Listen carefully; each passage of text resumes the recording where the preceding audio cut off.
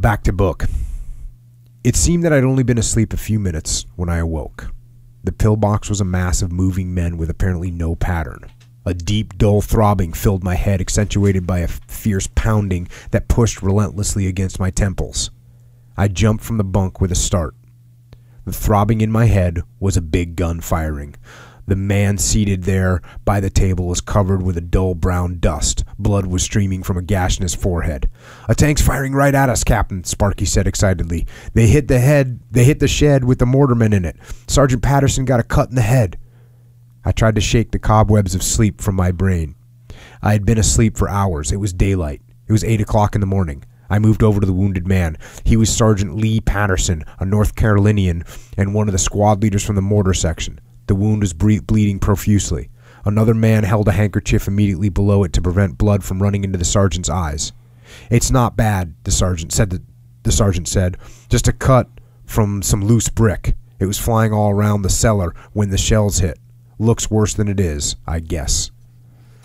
So now they're they're under attack, and I'm, I'm you're gonna notice a pattern. I don't know if I'll cover it enough, but this poor guy, this poor guy, uh, MacDonald, Captain MacDonald.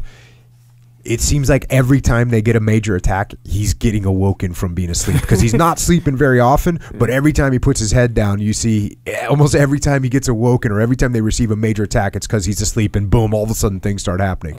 He, he must have been so paranoid to go to sleep, knowing that mm. this stuff was was hanging over his head. So they're getting this pretty co- pretty big coordinated attack, and then some aircraft show up, some some P-47 shows up, uh, like five P-47 shows up, and here's the description of that. Each plane circled high into the air and came down with the skill and grace of a pirouetting dancer upon its target. The bullets from its cannon beating a staccato chant of death as it dived on the Germans below. Someone behind me said, "Oh, them goddamn beautiful birds."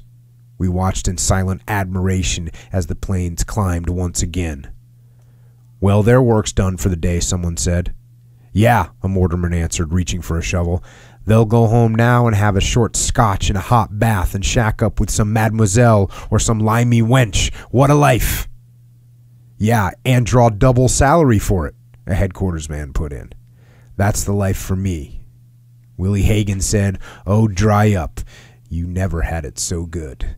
So that's that's a common thing, you know, and we're gonna get Dave Berke on here, and I'm sure we'll hassle him about being a pilot. I mean, that is, you go, you, you do your mission, and then you're flying back to base. Mm. The bases are in friendly areas and they're protected, so you're gonna get a short scotch and a long on a hot bath.